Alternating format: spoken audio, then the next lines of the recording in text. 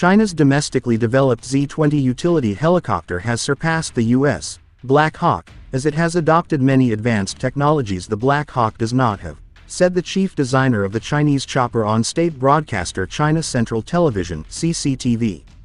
Deng Jinghui made the remarks when he was asked on a CCTV program on Saturday if the Z-20 has copied or drawn inspiration from the Black Hawk, given the similarity in appearance between the two helicopters. The Z-20 is a fourth-generation helicopter that has many technologies the Black Hawk does not have, including a fly-by-wire flight control system, which is a typical characteristic to make a helicopter ranking among the fourth generation, Deng said.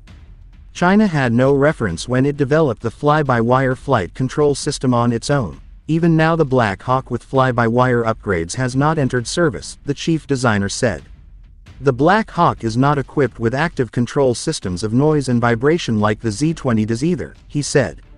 It is not the Z-20 that has copied the Black Hawk, it is the Z-20 that has surpassed the Black Hawk, Deng said.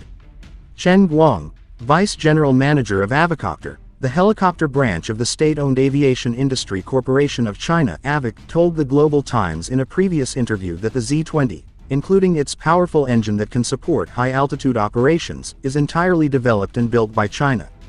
Many technological innovations were applied to the Z-20, and the active vibration control, fly-by-wire, low-noise rotor design and high-performance rotor aerodynamic design are considered advanced in the world, the Global Times learned from the helicopter's makers.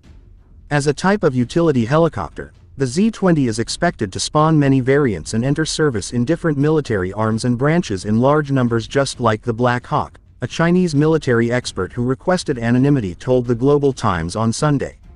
According to official media reports, after the Z-20 made its debut at the National Day Military Parade on October 1, 2019 in Beijing, Helicopters of this type have already entered service with the PLA Army, Navy, Air Force and the Chinese People's Armed Police Force.